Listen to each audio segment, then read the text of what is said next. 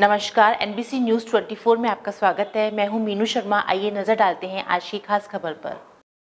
बहत्तरवें मानवाधिकार दिवस के आयोजन पर जयपुर में मेरा अधिकार संस्था द्वारा निर्भया स्क्वाड टीम का सम्मान किया गया।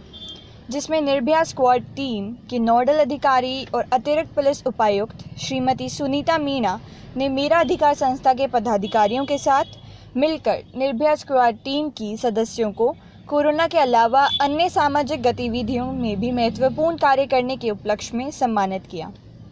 इस अवसर पर मेरा अधिकार संस्था के अध्यक्ष दीपक शर्मा, महासचिव मुकेश मिश्रा और जिशान सहित संस्था के अन्य सदस्य उपस्थित रहे। निर्भया स्क्वाड टीम की नोडल अधिकारी सुनीता मीना ने बताया कि निर्भया टीम द्वारा कोरोना काल में जनता की रक्षा के लिए महत्वपूर्ण कामों के साथ ही सामाजिक गतिविधियों में भाग लेने के साथ ही पीड़ितों का मनोबल बढ़ाने के अलावा अस्पताल तक पहुँचाने का काम भी ये टीम ने बखूबी किया है। साथ ही मानवाधिकारों की रक्षा करने में हर कदम जनता के साथ है। विश्व मानव अधिकार दिवस की आप सभी को हार्दिक शुभकामनाएँ।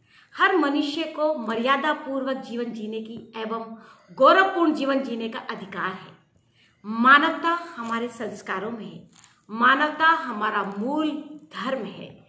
इसलिए आइए, आज हम सब लोग मिलकर ये शपथ लें कि हम सभी लोग हर मानव को उसका अधिकार दिलाने के लिए हमेशा प्रयत्नशील रहेंगे, कोशिश करते रहेंगे। जय हिंद, जय भारत।